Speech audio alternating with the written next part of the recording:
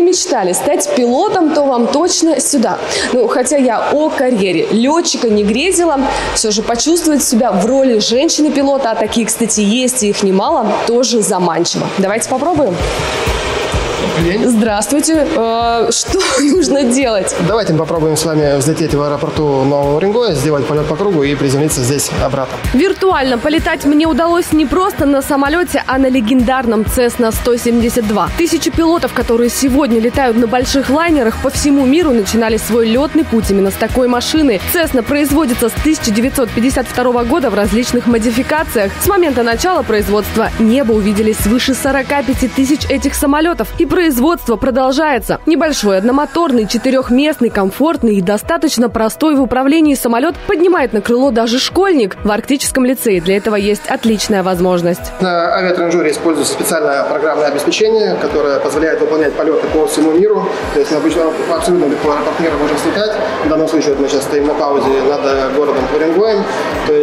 Дополнительно устанавливается, ну, называется сценарий. Мы можем, если тут какого-то города вдруг нет, мы можем его скачать и установить. Также тренажер позволяет, э, имеет подключение к компьютерным сетям, что позволяет подключить его э, к специальным сетям, где можно выполнять полеты с живым диспетчерским обслуживанием и с настоящим трафиком. То есть там будут другие самолеты, и можно вести радиообмен. Сергей Визгалов – опытный летчик, который, ко всему прочему, оказался и опытным конструктором. Он живет в Хабаровске, там же спроектировал свой первый тренажер. Сначала только для себя, потом удалось масштабировать идею. Вместе с единомышленниками он открыл летную детскую школу Хабаровска. Их пример стал вдохновлять людей по всей России. Последователи нашлись и в Новом Уренгое. Я начал искать возможности реализации, связался с Сергеем, и мы совместно воплотили это в жизнь. Тренажер полностью копирует приборную панель э, самолета Э, то есть э, обучающийся после прохождения обучения, сев в самолет, может спокойно взлететь.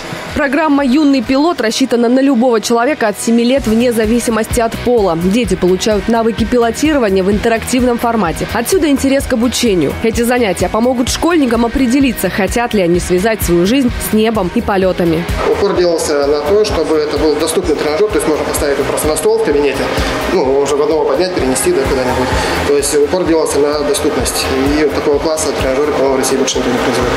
Обучение будут проводить профессиональные пилоты, с ними уже есть договоренность, а в будущем здесь появится и Боинг-тренажер. Юлия Шаркова, Богдан Жиделев, информационное агентство «Импульс Севера».